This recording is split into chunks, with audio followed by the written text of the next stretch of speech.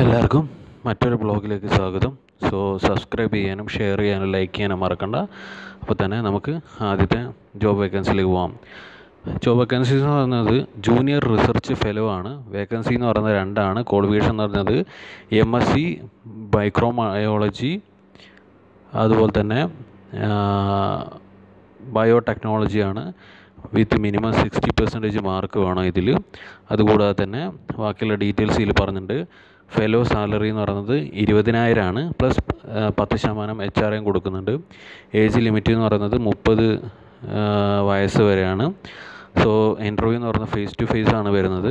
Mahatma Gandhi യൂണിവേഴ്സിറ്റിയിലാണിത്. So ഇത് അറിയുന്നവർക്കോ അല്ലെന്നുണ്ടെങ്കിൽ apply ഉള്ളവർക്ക് അപ്ലൈ ചെയ്യാൻ താല്പര്യമുള്ളവർക്കോ എത്രയും പെട്ടെന്ന് അപ്ലൈ ചെയ്യാം. സോ കൂടുതൽ ഡീറ്റെയിൽ മഹാത്മാഗാന്ധി യൂണിവേഴ്സിറ്റിന്റെ സൈറ്റിൽ ലഭ്യമാണ്.